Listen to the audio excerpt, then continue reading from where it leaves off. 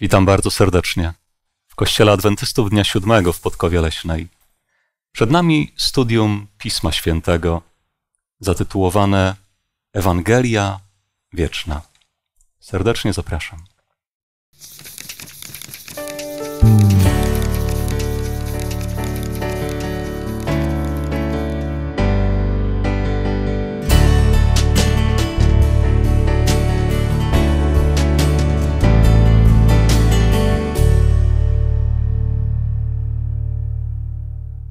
Wraz ze mną w dzisiejszym rozważaniu Słowa Bożego udział wezmą Angelika, Mikołaj oraz Sylwester. Ja na imię mam Piotr i chcemy poprosić w modlitwie Pana Boga, tego, który jest dawcą Ewangelii, aby pobłogosławił ten czas wspólnego rozważania Pisma Świętego. Stworzycielu świata, nasz Boże, Panie, który przyszedłeś nas odkupić, dzięki Ci za to, że mamy Twoje słowo w naszych rękach. Ale prosimy Cię, żebyśmy też mieli je w umysłach, na języku. A ponieważ zbywa nam na mądrości, a też i ludzka mądrość niczy, w niczym tu nie pomaga, prosimy Cię o Twoją mądrość, o prowadzenie Twojego ducha i o to, żebyśmy wyrażali myśli, które są zgodne z Twoją wolą i dokładnie mówili to, co Ty byś powiedział, siedząc tu na naszym miejscu. A prosimy Cię o to, powołując się na obietnicę Jezusa Chrystusa i w Jego imieniu. Amen. Amen. Tytuł naszego dzisiejszego studium biblijnego zaczerpnięty jest wprost z Księgi Apokalipsy. To tam pojawia się ten zwrot Ewangelia wieczna. To porozmawiajmy może na wstępie. Księga Apokalipsy. Jaką jest księgą? O czym jest to księga? Z czym wam się kojarzy? Księga Apokalipsy jest e, księgą pełną paradoksów. Występują w niej e, potwory, bestie, liczby, ale tak naprawdę jest to objawienie Jezusa i też ostrzeżenie dla jego ludu na czasy końca, żeby się przygotować. Hmm, dziękuję.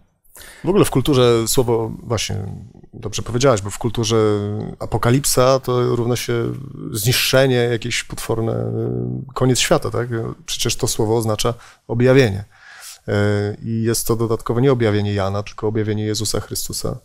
Więc, e, ale myślę, że to, co można by jeszcze takiego zaskakującego powiedzieć, dodatkowego, to, że jest to księga mówiąca o świątyni pańskiej, która jest kluczowym miejscem, cała, cała Księga Objawienia jest Księgą Świątyni, która jest kluczowym miejscem dla załatwienia, to kolokwialnie mówiąc, sprawy grzechu czyli zlikwidowania grzechu.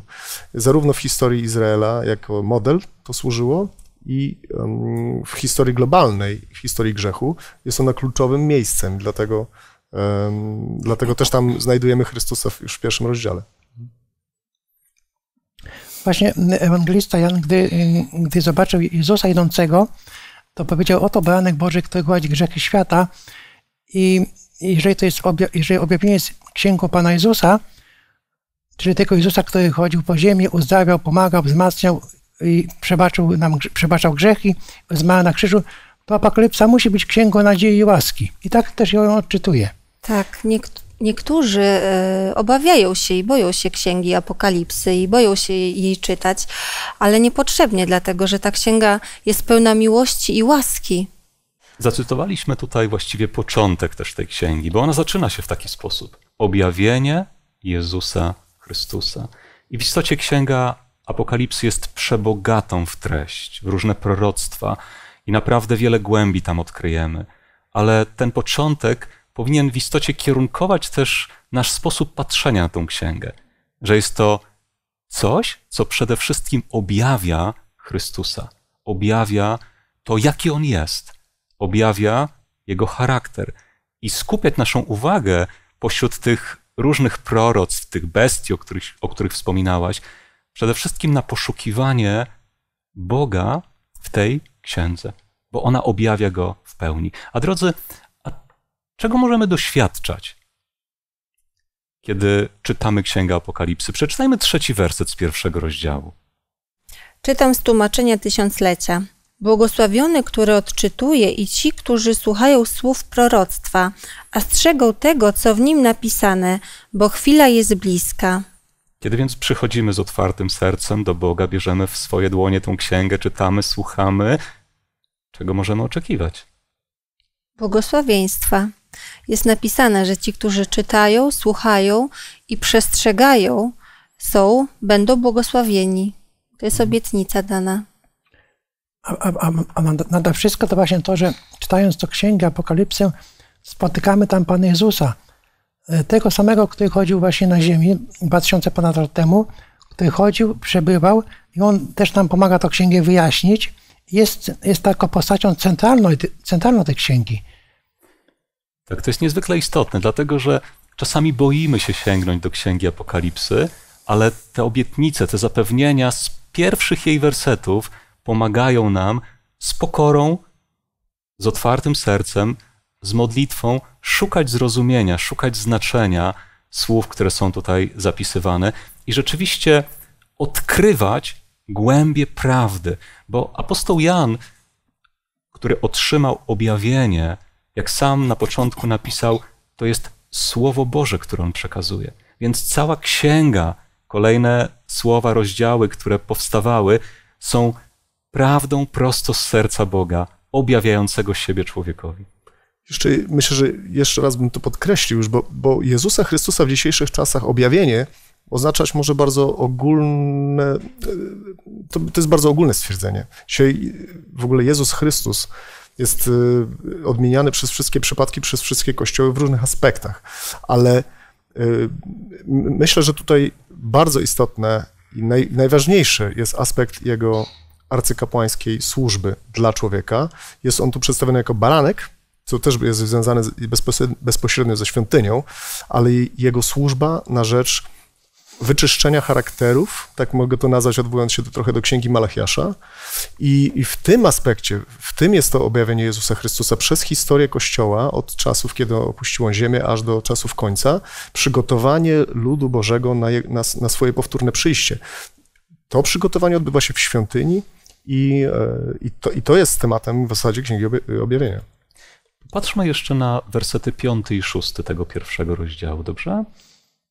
I od Jezusa Chrystusa, świadka wiernego, pierworodnego wśród umarłych i władcy królów ziemi, temu, który nas miłuje i który przez swą krew uwolnił nas od naszych grzechów i uczynił nas królestwem, kapłanami dla Boga i Ojca swojego. Jemu chwała i moc na wieki wieków. Amen. Czy gdy czytamy takie słowa zaraz na początku tej księgi, możemy dostrzec, że Księga Apokalipsy niesie z sobą także przesłanie łaski, przesłanie nadziei, pośród różnych ostrzeżeń, pośród różnych wezwań, apeli. Czy sam ten początek wprowadza w nas, też, nas także w tą atmosferę pewnej nadziei? Tak, dlatego że tutaj jest napisane, że uczynił nas królestwem kapłanami dla Boga i Ojca swego. To jest pełna łaski. Przecież my nie zasługujemy na to, a to zostaliśmy obdarowani przez Boga. Tak czytałaś w tych słowach Jezusa, który nas miłuje i poprzez swoją śmierć wyzwolił z naszych grzechów.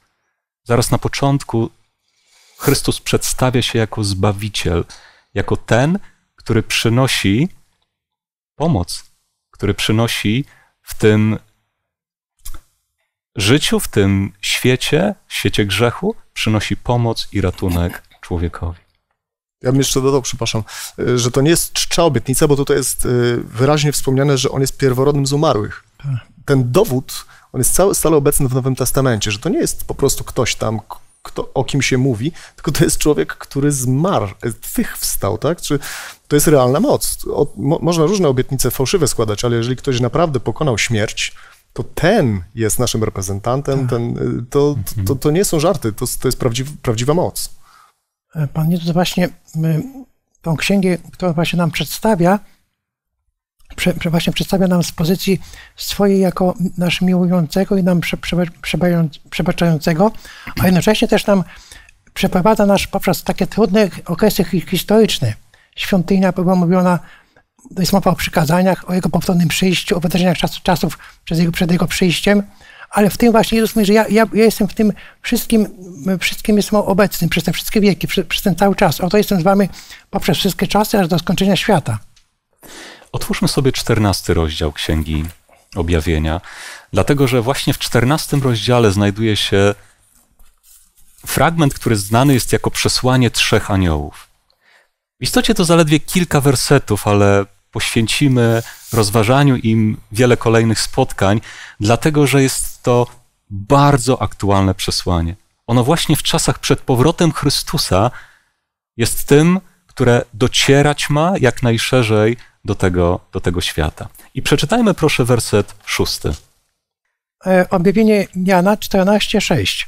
I widziałem innego anioła, lecącego przez środek nieba, który miał Ewangelię wieczną, aby ją zwiastować mieszkańcom ziemi wszystkim narodom i plemionom, i językom i ludom. Dziękuję bardzo.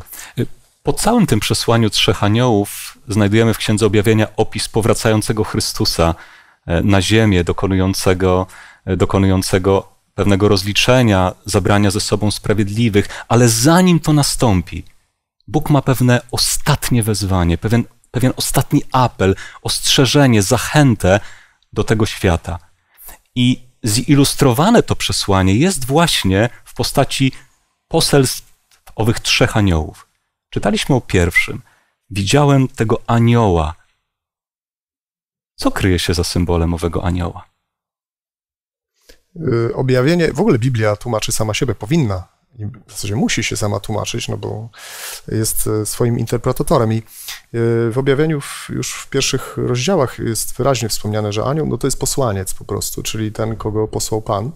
E, jest, kiedy mamy do czynienia z listami do zborów, czy też kościołów, zależnie od tłumaczenia, to jest tam mowa zawsze do anioła zboru tego i tego, czyli mowa jest o ludziach, którzy uczestniczą w misji Bożej dla Pana, którzy głoszą coś, mają coś do powiedzenia światu w imieniu pańskim. Anioł to jest ktoś, kto, kogo Pan posłał, natchnął, popchnął do przodu, y, tak obrazowo mówiąc, i kazał mu coś mówić. Tak, czyli y, ci, którzy przyjęli Ewangelię wieczną i żyją w niej. Tak, to ważne, bo dalej rzeczywiście ta Ewangelia wieczna jest przesłaniem, przesłaniem, które, które jest zwiastowane. A co oznacza, że ów anioł leci przez środek nieba? Ma ważną wiadomość wprost z nieba Widzimy tu gorliwość, tak? Ale też, pewien zapał. Też właśnie, że nie idzie, nie stoi, tylko właśnie leci, a więc jest to taka bardzo ważna informacja, Ewangelia Wieczna, więc trzeba ją przekazać jak najszerszej całemu światu, jak, jak jest mowa, i też wszystkim osobom. I to, i to, i to ma być zrobione w dosyć jakimś czasie. Mhm. Ten anioł, tak jak sobie powiedzieliśmy, który reprezentuje ludzi, którzy najpierw tą pełnię prawdziwej Ewangelii przyjęli i zastosowali w swoim życiu i przekazują ją, ją dalej, jest napisane, że ma Ewangelię wieczną. Jakbyśmy przybliżyli sobie znaczenie tych słów, mieć Ewangelię, co to znaczy? po pierwsze, mieć Ewangelię, to znaczy ją rozumieć w ogóle. No bo wielu ludzi może powiedzieć, no mam do ciebie świetną wiadomość, no jaką, jaką i ci nie powie, tak? No, no, czyli fajnie, bo, bo tak dosłownie mm, chrześcijanie też mm, często wspominają o wspaniałej nadziei, łasce Ewangelii, ale do końca nie, do, nie rozumieją tego, na czym to polega. Pytanie jest, czy my rozumiemy też do końca, ale Ewangelia, którą się ma, e, to coś, co się przeżyło. No tu bym mógł się odwołać na przykład do Izajasza szóstego rozdziału, w którym oczyszczony węgielkiem z, właśnie w świątyni prorok y, słyszy słowa, któż nam pójdzie, tak? kogo poślemy. E, I mówi, no to jestem w takim razie, mnie poślij. I e, bez tego doświadczenia oczyszczenia, e, oczyszczenia, człowiek, bo de facto Ewangelia, też dobra nowina, mówi o oczyszczeniu od grzechu w krwi baranka. Więc ktoś, kto to doświadczy, to ma to w sobie i wie, jak o tym opowiedzieć. No właśnie, Ewangelia mm, wieczna to jest coś, co, co poznałem, powiedzmy, czytając Pismo Święte, czy jakąś książkę chrześcijańską o tym, co Jezus, zrobił, co Jezus zrobił dla mnie, ale jeżeli ja przyjąłem tę Ewangelię w Jezusie, to ona mnie, ona mnie zmienia, ona zmienia moje spojrzenie, moje cele, moje motywacje, moje kierunki życiowe, y, moje standardy zmienia, a więc ona mnie zmienia I to wtedy, to wtedy można powiedzieć, że ja mam to Ewangelię, że ja nią żyję. Trudno byłoby mówić o czymś, co nie jest nam bliskie, czego sami nie doświadczamy, nie przeżywamy. I to jest bardzo ważny szczegół tego fragmentu Słowa Bożego, że aby przekazywać dalej, samemu trzeba doświadczyć, mieć, czyli trzymać w swoim życiu, w swoim sercu, doświadczyć błogosławieństw płynących z tego, że człowiek przyjmuje tą dobrą nowinę, Ewangelię o darze zbawienia, o ratunku, który jest, który jest od Chrystusa. I to jest też znamienne, że widzimy tutaj, że ci, którzy mają tą Ewangelię, czy mają ją tylko dla siebie? Nie, dzielą się z innymi, tak? Jest tutaj nawet napisane, że wszystkim narodom, plemieniom, językom i ludom ma być głoszona. Mhm. I co jest ciekawe właśnie, że na początku mówiliśmy, mówiliśmy, że Apokalipsa to jest księga pełna bestii, jakichś trudnych fragmentów, a tutaj mówimy o Ewangelii. Nie jest Ewangelia, w centrum, 14 rozdział. Widać też w tym fragmencie to Boże pragnienie, aby Zbawienia. ta cenna wieść dotarła do każdej osoby. Dotarła na krańce ziemi, wszystkim narodom, plemionom, ludom, językom. Ma Ewangelię, aby ją zwiastować, czyli samemu korzystając z dobrodziejstw obecności Boga w swoim życiu, człowiek mówi, ale chcę przesłanie to przekazać też tym, którzy są obok, tym, którzy może dzisiaj są przygnębieni, nie mają tej, nie mają tej nadziei. Drodzy, to przesłanie trzech aniołów, zapoczątkowane tym fragmentem, który czytamy, jest niezwykle ważne też dla nas jako Kościoła Adwentystów Dnia Siódmego. Dlatego, że z pokorą i w poczuciu odpowiedzialności, ale patrząc na treść przesłań, które będą dalej rozważane, widzimy, że Bóg poprzez ten Kościół, poprzez ten ruch, tą pełnię Ewangelii chce przekazywać światu. Tą pełnię zrozumienia Ewangelii właśnie w czasach i wobec wyzwań, które jeszcze staną przed tym światem, przekazać poprzez ten Kościół. Bardzo identyfikujemy się z tymi słowami, widząc w nich też swoją rolę jako Kościoła do, do zrealizowania. I podkreślam, mówię to z pokorą i odpowiedzialnością, ale też z pełnym przekonaniem, że tak właśnie jest. Jeśli mógłbym dodać do tego, bo myślę, że warto by też odpowiedzieć tutaj o kontekście, bardzo szybko, ale jednak o kontekście, bo to nie jest wyrwane z kontekstu, tylko jest w pewnym kontekście. Mamy w 14 rozdziale 144 tysiące, i kiedy narracja w, w Księdze Objawienia yy, zaczyna się od i zobaczyłem, to zazwyczaj w tej księdze oznacza to, że był jakiś yy, duży obraz, jakiś ogólny obraz, a teraz cofamy się i chcemy zaobserwować, jak do tego doszło. I zobaczyłem, jak do tego doszło. Mhm. I yy, ta grupa, która jest opisana w tych pięciu y, pierwszych wierszach, y, powstała dzięki temu głoszeniu. A z kolei w dwunasty wiersz, czyli ostatni wiersz, y, nie będziemy dzisiaj tego studiować, ale on wskazuje na przykazanie Boże i wiarę Jezusa, tak?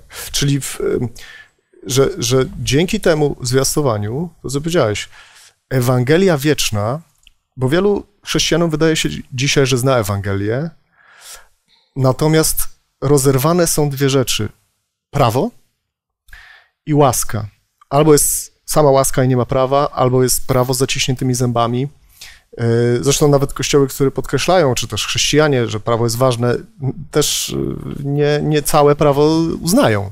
Więc tylko ktoś, kto rozumie ważność prawa, Ewangelia tak samo domaga się posłuszeństwa wobec prawa, jak e, zakon starotestamentowy, tylko daje nam prawdziwe narzędzie do tego, czyli wiarę Jezusa, o której jest mowa później, która powoduje, że jesteśmy w stanie przestrzegać przykazań, dzięki wierze, nie dzięki naszej decyzji i sile, i, której nie mamy, zresztą żadnej, tylko właśnie w tym kontekście ten, to przesłanie tych trzech aniołów jest skierowane do świata, żeby ta grupa powstała, tych, którzy przestrzegają przykazań Bożych. Ale jak? Przecież się nie da, a jednak. Tak, bo, bo przyjęcie Ewangelii zmienia życie i człowiek z radością jest, chce Bogu być posłuszny.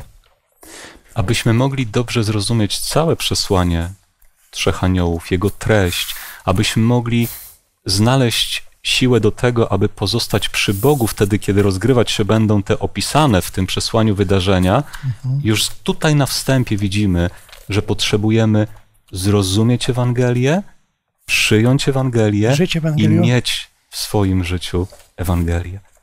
Bez tego tak naprawdę te dalsze przesłania staną się dla nas e, może zbyt trudne do zrozumienia, to jedno, a drugie, staniemy wobec nich bezradni, bo wyzwania, o których mówi Księga Apokalipsy, są dużymi wyzwaniami, ale z Chrystusem one są wyzwaniami, przez które On nas przeprowadzi. No właśnie, mówimy Ewangelia. Czym jest Ewangelia? O czym jest Ewangelia? E, Ewangelia jest to mm, nieskończenie dobra nowina o śmierci Jezusa za nasze grzechy, o Jego zmartwychwstaniu, ale też o miłości do nas i, i trosce. Hmm? Otwórzmy sobie pierwszy list apostoła Pawła do Koryntian, rozdział 15. Jakie przesłanie dotyczące Ewangelii znajdujemy w pierwszych dwóch wersetach? E, Czytam z uwspółcześnionej Biblii Gdańskiej. A oznajmiam wam, bracia, Ewangelię, którą wam głosiłem, a którą przyjęliście i w której trwacie, przez którą też dostępujecie zbawienia, jeśli pamiętacie to, co wam głosiłem, chyba że uwierzyliście na próżno. Popatrzmy, co na temat Ewangelii wynika z tych przeczytanych przed chwilką słów. Co jest bardzo ważne, kiedy mówimy o tej dobrej, nieskończenie dobrej nowinie dla człowieka. W tym pierwszym wierszu jest, i on jest taki jest bardzo piękny, że apostoł Paweł przypomina, a więc już wcześniej im przekazał, ale potrzeba było, żeby jeszcze im przypomniał tę Ewangelię, ale też Paweł mówi, że przyjęliście i w której trwacie.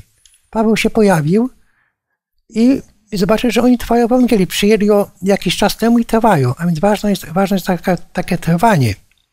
Tak, Ewangelia, którą zwiastowałem, on otrzymał tą Ewangelię od Chrystusa. Tak. To jest ten, który przekazał Ewangelię. Na co zwraca uwagę, że Ewangelię potrzeba przyjąć, nie tylko rozumowo coś zrozumieć, ale przyjąć sercem, doświadczyć tego, co wnosi w życie Ewangelia. W Ewangelii trzeba trwać. Przez, Ewan- przez Ewangelię, mówi dalej, jesteście Zbawieni. zbawieni. Tak. Jesteście zbawieni, jeżeli tylko ją zachowujecie i jeżeli w nią wierzycie. No bo właśnie, bo tutaj jest jeszcze te, to, to, to zaznaczenie, że chyba, że uwierzyliście na próżno, co też jest biblijnym wskazaniem, że jest to możliwe, czyli e, że nie jesteś raz zbawiony, na zawsze zbawiony, tylko że to Tak. trzeba pielęgnować i dbać o to, o ten dar. A dwa, y, że tutaj jeszcze y, moglibyśmy się to też odwołać do Rzym, Rzymian, pierwszego rozdziału, w którym Paweł mówi, że Ewangelia jest mocą Bożą ku zbawieniu. Że to nie jest po prostu jakieś tam ogólne stwierdzenie w niebie gdzieś tam, że ty będziesz zbawiony, poklepanie po plecach, tylko to jest realna moc. Tak jak mówiłeś, Sylwester, ona musi zmieniać nam charakter, bo jeżeli nie zmienia, to może się okazać, że uwierzyliśmy na próżno. Ewangelia musi być mocą. Tak, ale bardzo ważne jest, aby spojrzeć na Ewangelię też w połączeniu z osobą. Dlaczego? Dlatego, że nie możemy oderwać Ewangelii i przedstawić jej jedynie jako pewnej idei. Popatrzmy nawet kolejne wersety tego fragmentu, który czytaliśmy. Przeczytajmy trzeci i czwarty werset. I pomyślmy, w jaki sposób Ewangelia związana jest z osobą Jezusa Chrystusa.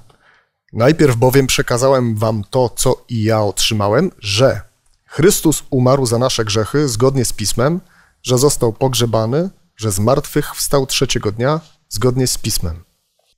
W jaki sposób osoba Chrystusa związana jest z Ewangelią w tym przesłaniu Pawła? Życie, działalność, śmierć Jezusa i zmartwychwstanie. Tak, zobaczmy.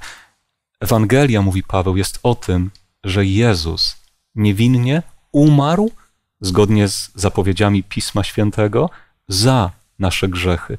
Złożony do grobu, do grobu na dowód tej śmierci, ale Ewangelia to także wieść o tym, że śmierć została pokonana. Już wspominałeś o tym, Mikołaju, że zwyciężył Zbawiciel, zwyciężył Chrystus. I dlatego to On jest Ewangelią w istocie. Ewangelia to On, to Jezus, który też przekazuje nam, w jaki sposób my dzisiaj możemy skorzystać z Jego łaski i z Jego pomocy. Wszystko też ten, te nasze grzechy, to jest takie, dzisiaj, dzisiaj to się często powtarza, więc może ludzie tak się nad tym nie zastanawiają, nawet chrześcijanie, ale nasz, każda rzecz, która nas martwi, którą uważamy, a nie wiem, czy Bóg mnie zbawi, czy nie, to przecież właśnie już Chrystus za to umarł i z, zmartwychwstał. Czyli to, to, co ciebie martwi dziś, zostało już pokonane, ponieważ Chrystus zmartwychwstał, bo gdyby nie zmartwychwstał, to okazałoby się, że twój grzech, no, zabił e, Zbawiciela świata, no bo jest jednak za ciężki. Ale skoro on zmartwychwstał, to znaczy, że nie jest za ciężki, to znaczy, że on pokonał to, co ciebie teraz niszczy, albo trapi, albo nie możesz się od tego uwolnić.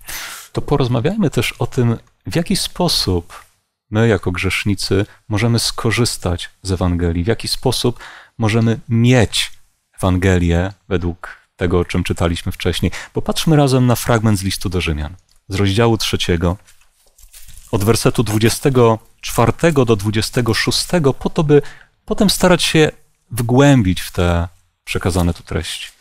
I są usprawiedliwieni darmo z łaski Jego przez odkupienie w Chrystusie Jezusie, którego Bóg ustanowił jako ofiarę przebogalną przez krew Jego, skuteczną przez wiarę, dla okazania sprawiedliwości swojej przez to, że w cierpliwości Bożej pobłażliwie odniósł się do, do przedtem popełnionych grzechów, dla okazania sprawiedliwości swojej w teraźniejszym czasie, aby On sam był sprawiedliwym i usprawiedliwiającym tego, kto wierzy w Jezusa. Dziękuję bardzo. Co na temat istoty Ewangelii mówi to przesłanie? O, bardzo dużo. Moglibyśmy bardzo dużo powiedzieć. Ale powiedzmy ale u, u... to, co najistotniejsze widzimy w no tym No właśnie, w tym właśnie, czyli o usprawiedliwieniu mówi. Raz, że akcie prawnym, który nas usprawiedliwia w Chrystusie, ale dwa, mówi usprawiedliwiającym. że on jest sprawiedliwy, ale też i usprawiedliwia, udziela sprawiedliwości. Czyli Ewangelia mówi o tym, że grzesznik jest jakiś sposób, w jaki grzesznik może zostać uznany przez Boga za sprawiedliwego. Jaki to sposób według tych słów? Czyli wierzy, czyli dana osoba, powiedzmy Sylwester, wierzy w to, że Jezus swoim życiem, swoim, swoim właśnie krzyżem, że przebaczył mi moje grzechy. Ja wierzę właśnie w czyny, ofiarę Pana Jezusa. A w tym momencie moje zasługi nie mają żadnego znaczenia, no bo w sumie ich też ich nie ma, nawet jeżeli są to takie niewłaściwe, ale Jezus właśnie przebacza mi w ten sposób, że ja wierzę w Jego sprawiedliwość, którą On przy, przyjmuje to przez wiarę. Zgodnie z tymi słowami, usprawiedliwieni darmo z łaski Jego, czyli usprawiedliwienie jest darem Bożej łaski, Bożej życzliwości wobec człowieka. Proszę. Tak, to właśnie, że, że mm, otrzymujemy ją za darmo, że nie możemy sobie na to zapracować y, jakimiś szlachetnymi czynami, czy nawet y, y, działaniem poprzez Ducha Świętego, tak? To my to nie działa w ten sposób. My to otrzymujemy za darmo. Także. Ja bym się jeszcze upierał, że to nie jest tylko sam usprawiedliwienie nas, że przypisanie nam sprawiedliwości Chrystusa. Y, niektórzy uważają, że to jest katolicka nauka, że uświęcenie jest częścią usprawiedliwienia. Ja, ja uważam, że Bóg, wierzę tak, usprawiedliwia też nas aktywnie. Oprócz tego, że uznaje nas za sprawiedliwych, to jeszcze czyni nas potem sprawiedliwymi przez y, okres naszego życia całego, ucząc nas, y, zmieniając nasz charakter, bo tak. de facto bez zmiany charakteru nie możemy mówić o tym, że żeśmy nie na próżno uwierzyli. Wtedy na próżno żeśmy uwierzyli. Właśnie tak, tak jak mówisz, że gdy, gdy, gdy człowiek, spotyka Chrystusa i cieszy się Jego zbawieniem dla mnie, to ja nie, już nie chcę być taki sam. I właśnie Jezus wkracza, wkracza w moje życie i zmienia moje cele, motywacje, skłonności. I to można było o tym długo mówić. Ewangelia, y, ktoś, kto przyjął Pana Jezusa, nigdy nie będzie taki sam. To, co jest bardzo ważne też, to fragment ten mówi o niezwykłej cenie Ewangelii, ponieważ apostoł wspomina o krwi Jezusa Chrystusa. Aby dla nas mogła rozbrzmiewać dobra nowina, aby nasze życie mogło zmieniać się, aby nasze grzechy mogły być z nas zdjęte, poczucie winy, wyrzuty sumienia uciszone i na ich miejsce Bóg dał nam niebiański pokój do serc płynący z pojednania z Bogiem, potrzeba było przelania krwi Jezusa Chrystusa. I co zwróciło też moją uwagę w tych słowach, apostoł napisał, że ta krew jest skuteczna przez wiarę. Co to znaczy? To znaczy, że można być chrześcijaninem, który nawet przez całe życie słyszy o ofierze Chrystusa. Ale jeżeli, idąc za tym słowem, nie uskuteczni jej przez wiarę w swoim życiu, czyli jeżeli osobiście nie przyjdzie do Boga takim, jakim jest, bo o tym mówi Ewangelia, jeżeli osobiście z żalem i skruchą nie wyzna swoich grzechów, przestępstw Bożego prawa i nie przyjmie Bożego przebaczenia przez wiarę, to tak naprawdę może całe życie słuchać, słyszeć Ewangelię i nigdy jej nie mieć. Ten werset jest dla mnie ogromną zachętą, aby rzeczywiście przez wiarę z tego daru Ewangelii skorzystać. Proszę. Tutaj posłużę się fragmentem, który Paweł powiedział, on pasuje do tych wypowiedzi. Piąty rozdział listu do Rzymian, wiersz pierwszy. Usprawiedliwieni tędy z wiary, pokój mamy z Bogiem przez Pana naszego Jezusa Chrystusa.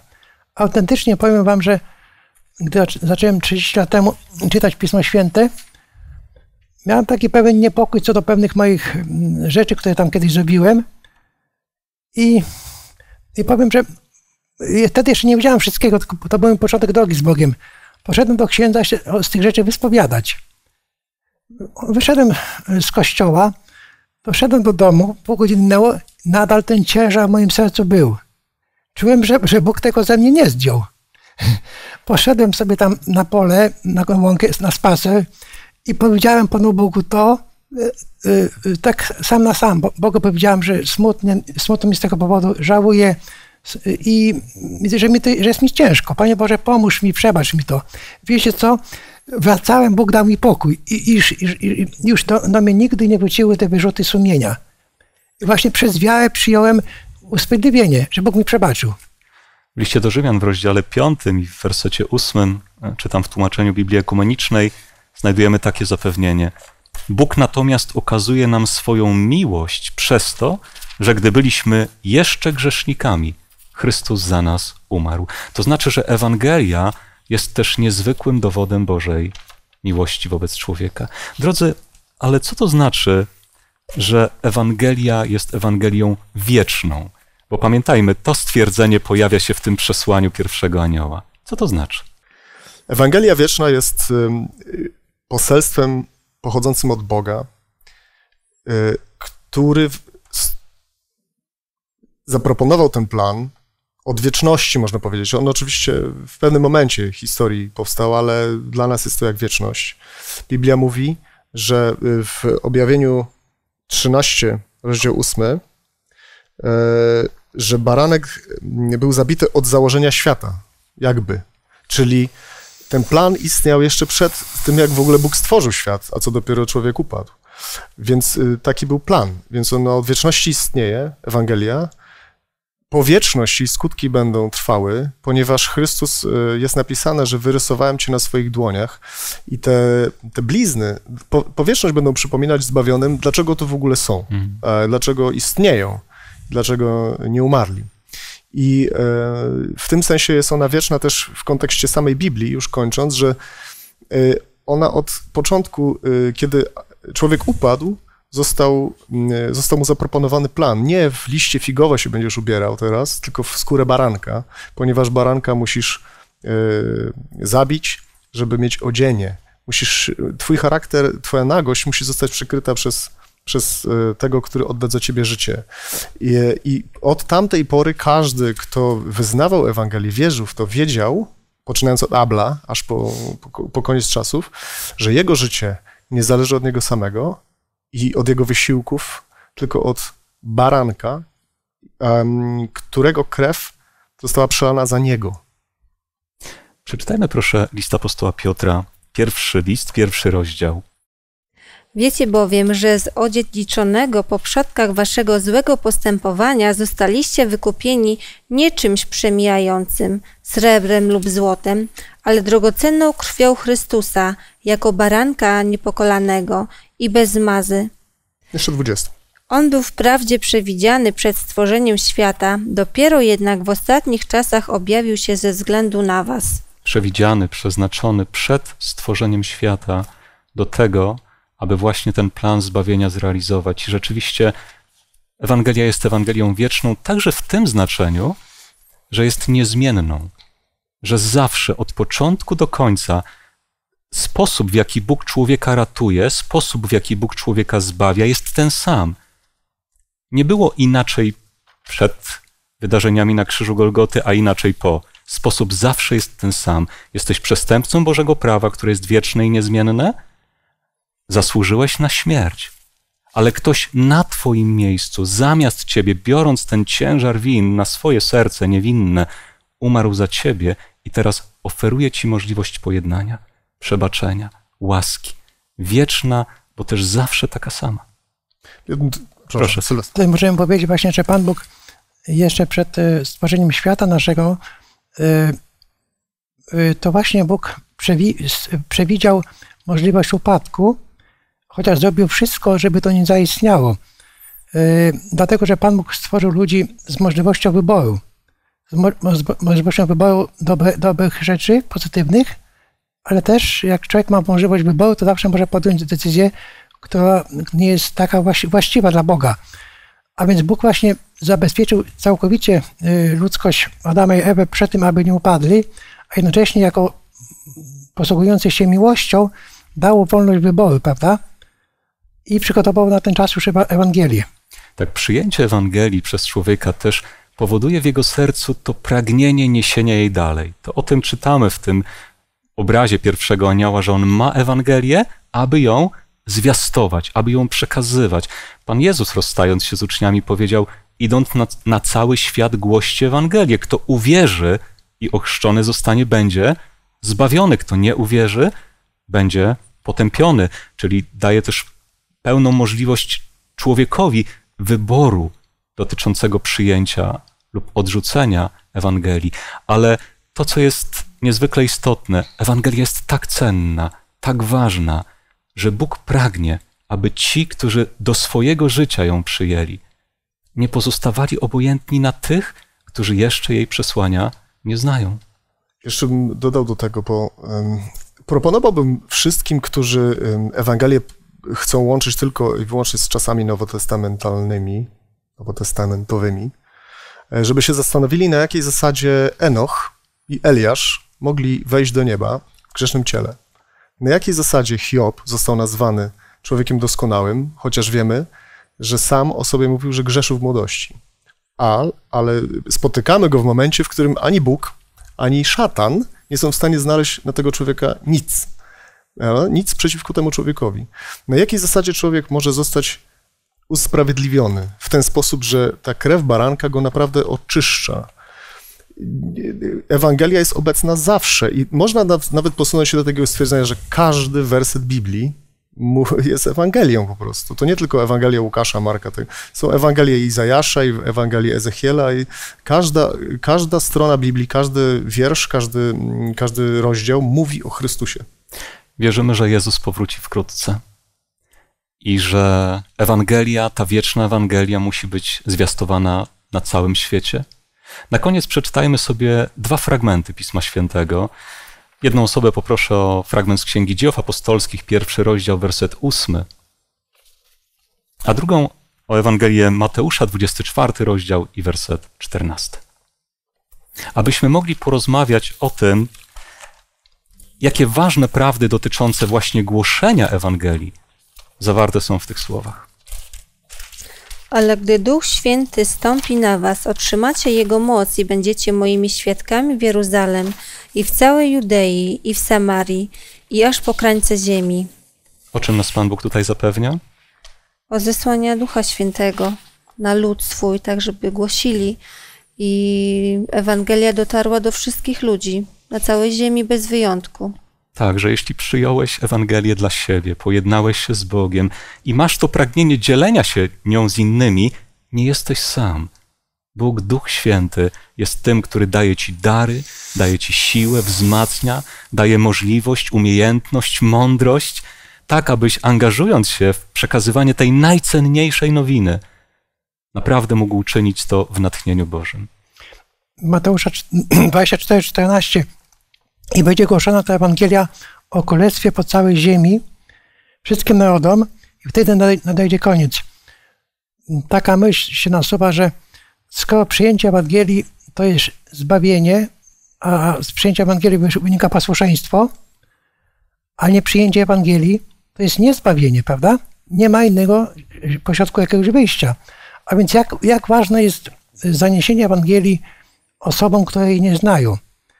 I taka myśl moja, że skoro właśnie zbawieni będą w niebie, będą, będą zbawieni, przez wieczność będą zbawieni, bo Ewangelia ma skutki wieczne, jak mówiłeś Mikołaj, a jej nieprzyjęcie to skutki wieczne, to nie, nie być, nie być.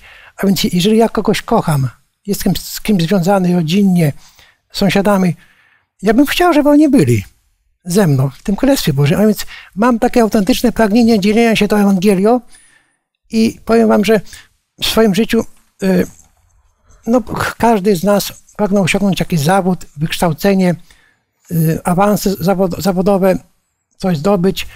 Natomiast nie dawało mi to tak do końca takiego, takiego szczęścia. E, ale gdy zacząłem się dzielić Ewangelią z innymi osobami, z nimi studiować Pismo Święte i widziałem, jak oni się cieszą, to, to miałem nadzieję i przekonanie, że uczestniczę, uczestniczę w jakimś wszechświatowym ruchu, którego Bóg powołał. I to, jest, I to jest właśnie coś takiego, co jest wieczne. Robię coś, co ma skutki wieczne. I w ten sposób, jako Kościół, ale też jako jednostki, możemy być uczestnikami spełniania się tego proroctwa. I widziałem anioła lecącego przez środek nieba, który miał Ewangelię i ma Ewangelię wieczną, aby ją zwiastować, aby ją przekazywać. Tą Ewangelię o nadziei, o zbawieniu, która wnosi radość w nasze życie, ale też gdy dzielimy się nią, to wnosi jeszcze więcej radości w nasze życie. Proszę. W takiej książce czytałem Wielki Bój y, takie zdanie, że dopiero, że dopiero w wieczności zbawieni odczują brak chociażby jednej osoby. Bo nam się wydaje teraz, że y, nasi znajomi lub osoby z rodziny no są, ale jeżeli jesteśmy wierzącymi osobami, ktoś odejdzie, umrze, a wierzymy, że, wierzymy, że ta osoba wierzyła w Ewangelię, to mamy tylko chwilę, żeby ją spotkać. A jeżeli ktoś nie, nie, nie żył w Ewangelii, nie spotkamy tej osoby. I to jest właśnie, tak jak pisze ta autorka, że dopiero w wieczności sobie zdamy sprawę z, z braku chociażby jednej osoby, a więc warto głosić Ewangelię. Bardzo dziękuję Wam za to wspólne rozważanie, za Wasz udział, przede wszystkim Panu Bogu, za Jego obecność. Dziękujemy za to, że byliście z nami, drodzy, i niech to błogosławieństwo Bożej Ewangelii będzie w Waszym życiu. Niech każdy będzie mógł mówić: Boże, dziękuję, że mam Ewangelię w swoim życiu, że stałeś się moim zbawcą, moim Panem. A jeżeli gdzieś wciąż czujesz, że Twoje serce jest obciążone grzechem, wyrzutami sumienia, to Ewangelia jest tą dobrą nowiną, tą mocą do nowego życia z Bogiem i z Jego błogosławieństwem, czego sobie i wszystkim chcemy z całego serca życzyć i o co chcemy w modlitwie kończącej nasze studium prosić. Panie Boże, dziękujemy Ci za Twoją wielką ofiarę, za Twoją miłość, troskę, zaangażowanie w nasze życie. Proszę Cię, żeby, żebyśmy mogli dalej, Panie Boże, zwiastować Twoją dobrą nowinę dla ludzi, tak żeby każdy się mógł o tym dowiedzieć.